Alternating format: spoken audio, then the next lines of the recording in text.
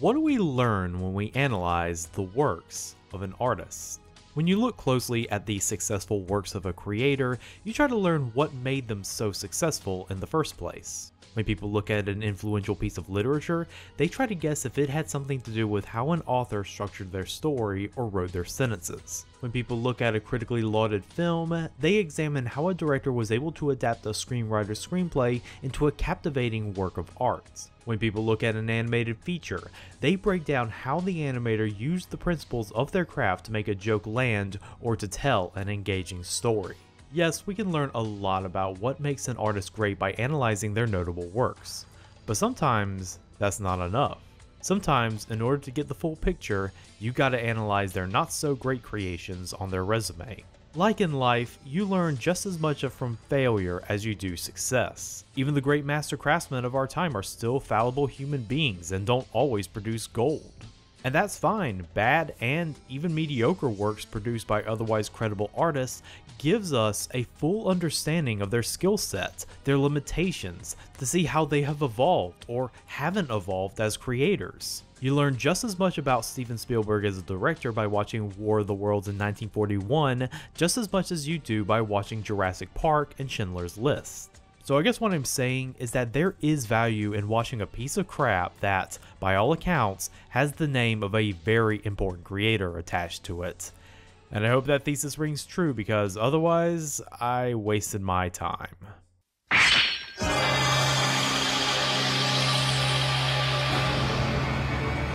Okay, so stop me if you've heard this one.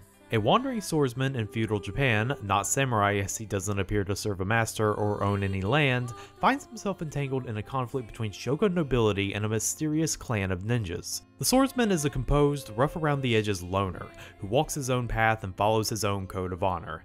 He is also insanely good with a sword.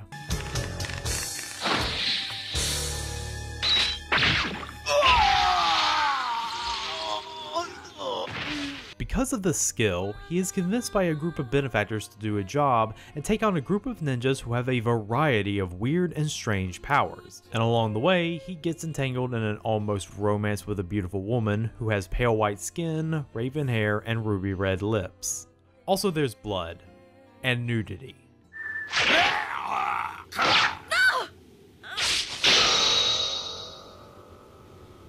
Released at the tail end of 1990, Sword for Truth is an anime that feels like it should have a bit more notoriety attached to it than it actually does. As you may have already guessed from the synopsis above, this was one of the similarly plotted titles that Manga Entertainment localized in an attempt to capture the same audience they did with Ninja Scroll, which is funny because Sword for Truth came out first but when you look at both titles side by side, it's hard not to think of this anime as nothing more than a shameless mockbuster of the far superior anime that was released three years later. An impression not abetted by Manga Entertainment's marketing constantly saying that it was just as good as Ninja Scroll, just naked attempts to get people to watch this anime by putting the words Ninja Scroll in their minds. But even if the tiniest bit of Ninja Scroll's infamy had rubbed off on it and give it some modicum of reputation, it wouldn't change the fact that Sword for Truth is one of the worst kinds of ultraviolent OVA. Scant budget, incomprehensible storytelling, leaning way too hard on its mature subject matter,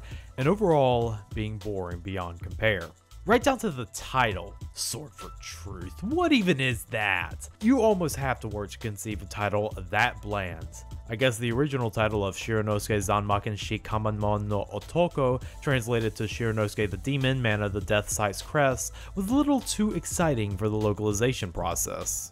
But if there's one thing that should give Sword for Truth the token amount of infamy, is the famous name attached to it. Konnichiwa. I've talked about Osamu Dezaki in past videos, how he is one of anime's most influential directors, how his techniques have impacted the medium, how he and other animators of his generation helped elevate anime to be this more dramatic art form. Yeah, he directed this anime. The mind and heart behind classics like Ashita no Joe, Rose of Versailles, and Space Adventure Cobra directed this low-budget shock Chanbara title. It's like finding out that James Cameron did Piranha 2 after doing Terminator 2. It doesn't add up at all. which is why I'm even covering this anime in the first place. I want to know what Dezaki is doing here. I need to find out what he brings to the table. We need to know what happens when a good director goes bad. Or at the very least takes a bad job in the name of getting a paycheck. Now, it would surprise most of you to learn that this is one of the few anime I've come across where the director gave themselves an Alan Smithee. Dezaki asked that he go uncredited as a director and only took a storyboarding credit, which he did so under the alias Tsutomu Dezaki. I don't know for sure if that means he was embarrassed to be a part of this turd, but if he really wanted to hide his involvement, the least he could have done was not make his style of directing so obvious. Dezaki's style of direction is all over this anime, and is also perhaps its one saving grace. Despite the anime's budget obviously being slimmer than a Slim Jim, to the point that most of the blood isn't even really colored, Dezaki's direction really makes this anime a lot more visually interesting than it has any right to be. That has been his modus operandi for decades, his ability to hide an anime's limitations through cinematic boarding, shot composition, and editing. For instance, there's the scene where our hero Shironosuke cuts down a vicious white tiger in one slice as a demonstration of his might and the way it is shown, it feels like Dezaki is giving his own twist to this Kurosawa-styled scene.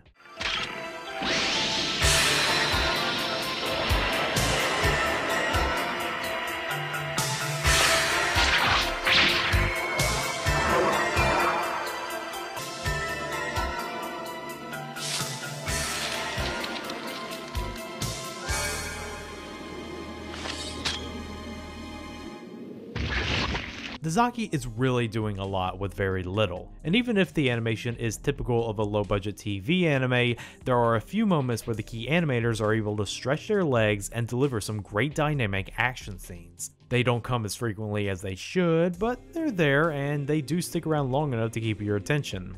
But enough damning with faint praise, let's damn with strong disapproval. Because aside from Dezaki's direction, this anime is inexcusably bad. To really convey the badness of Sword for Truth just by showing you footage is difficult. It's one of those anime that you really have to watch in full to experience just how poorly made it really is. I think one thing I can do to really sum it all up is to do what I have been doing since the beginning of this video and compare it to Ninja Scroll. Sword for Truth basically is Ninja Scroll. If you remove Ninja Scroll's great animation, tight plot, defined characters, clear motivations, and intricately choreographed fight scenes. Just remove everything that made Ninja Scroll a great anime and you have Sword for Truth. I am not kidding when I say this anime gave me a newfound appreciation for the video game like structure of Ninja Scroll. Whereas that allowed for solid structure to course the plot, the way Sword for Truth is plotted feels haphazard and clumsy. This anime was based off an obscure series of books by author Takashi Narumi, who was also the screenplay writer. And I guess I can see how it was adapted from a book because this anime overall feels like a book with vast swaths of pages missing. In a reading of the detailed plot synopsis on CartoonResearch.com by the late anime historian Fred Patten, I was shocked just by how straightforward the plot actually is. There's a princess who gets kidnapped by a group of ninjas who demand her clan's legendary mythic sword as ransom. Shironosuke is hired to take the ransom to them and rescue the princess in exchange for money. He goes to the ninjas' hideout, kills the ninjas, and returns the princess to her castle where the clan immediately tries to renege on the deal they made. The princess ends up rescuing Shironosuke and he walks away without the money owed to him. The end. You would think this plot would work well in a 45 minute OVA like this, but Sword for Truth decided to tell this almost overly simplistic story in a way that's completely incomprehensible. The fact that I needed a synopsis at all speaks volumes. 1. The editing in this anime is extremely choppy. Scenes don't flow seamlessly from one to the other because they all cut abruptly to the next scene, even when it feels like the scene isn't finished. Come here!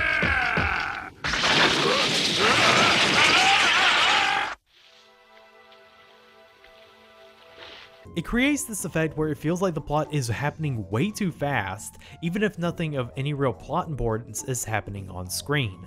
And that's another thing that compounds Sword for Truth's story.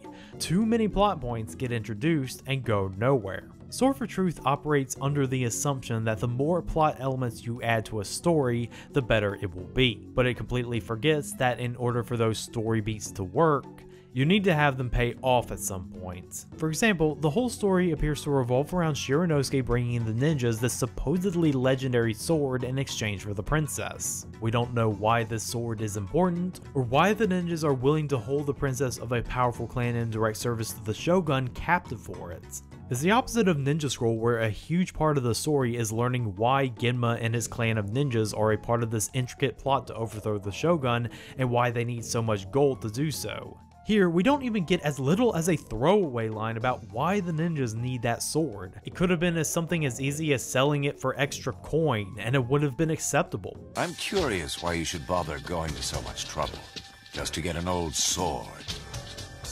What's so special about it? Perhaps you'd care to explain. It'd be an interesting story. I'm afraid they don't tell any stories in hell. And when plot points aren't going anywhere, they are also actively contradicting one another. Right when Shironosuke sets out to deliver the sword, we get this lengthy scene where the princess appears to be hypnotized under the power of opium and lesbian sex. It is time the sword was delivered into the hands of the Seki ninja. Oh, Princess Mayu, you must bring me the Ginryu sword. Yes, But if they are hypnotizing her to bring the sword to them, why have that scene where we know that Shironosuke is already on the way with his sword? And it doesn't even get followed up on in any meaningful way because the next time we see the princess, she is completely lucid and still being treated like a bargaining chip instead of a Manchurian candidate. So, what was the point of this scene? Yeah, figures.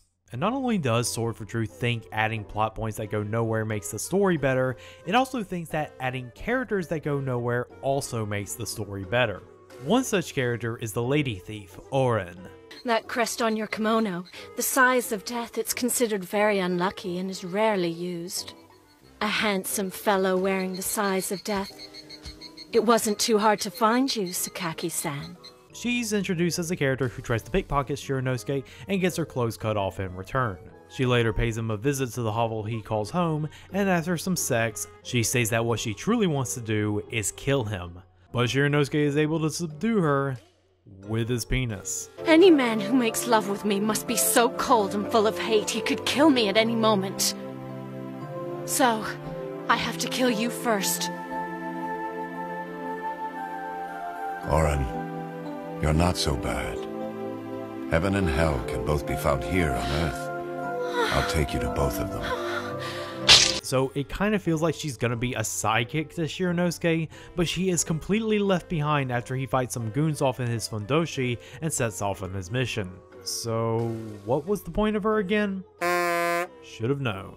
But at least Oren feels woven into the story, haphazardly as she may be. The most egregious example of utterly pointless supporting cast members being shoehorned into this anime is this Cobra-like assassin who kills his targets through martial arts alone.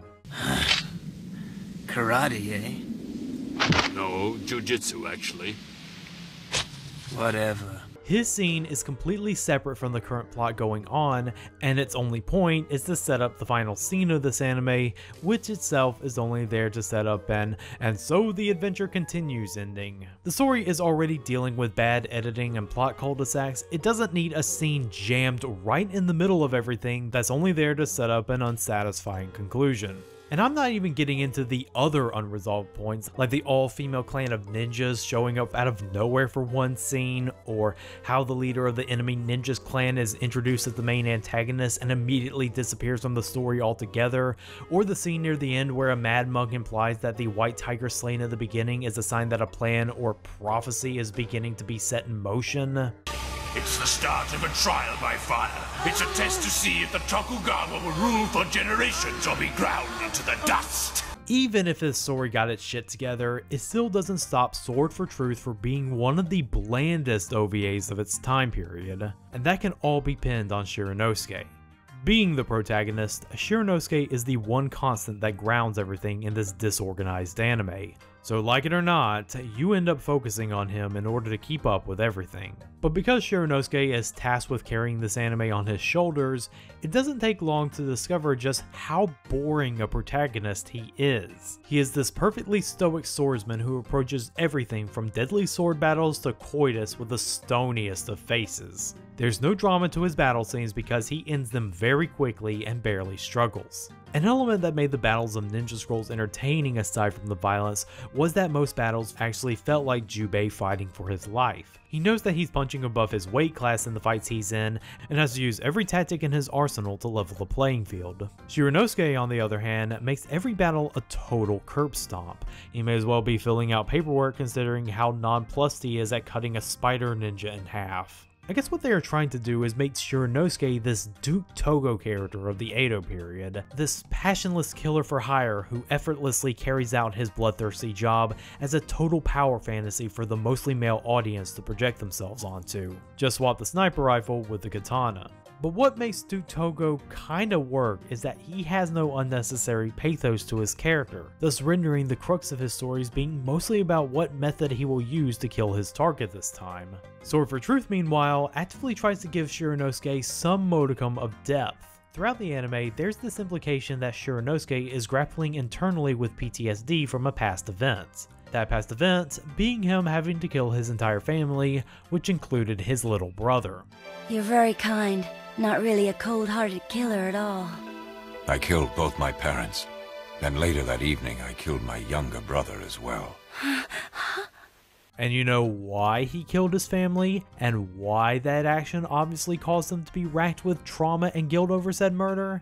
Your guess is as good as mine because the anime just reveals it and leaves it at that. When the big character twist is that the protagonist slaughtered his entire family, you can't just stop there. You are leaving a lot on the table. You are answering questions by raising further questions. And really, aside from the fact that he murdered his family, we still know very little about who Shironosuke actually is as a character. The only for sure things we do know about him is that 1. He pays rent, 2. He fucks, and 3 he fucks well. Well now, Sakaki-san, I hope you do more with your weapon than just kill tigers. So in the end, Sword for Truth as an anime is unwieldy, unengaging, and uninspired. But this brings us back to the question I had at the beginning. Why exactly did a creative titan of the industry like Osamu Dezaki end up working on this? It's not like Dezaki's career had hit the skids at any point. Throughout the 80s, he had a steady stream of work thanks to his directorial involvement on American Saturday morning cartoons, and Sword for Truth's release is just one year removed from Dezaki's own Dear Brother, an anime that is considered by many to be his magnum opus. So what gives? Well, the thing about animation is that it's one of the steadiest jobs one can have in a creative field. If you are part of the animation industry, there is always work coming in. You finish one project and there are more waiting for you right outside your doorstep, provided that you take the projects that are given to you.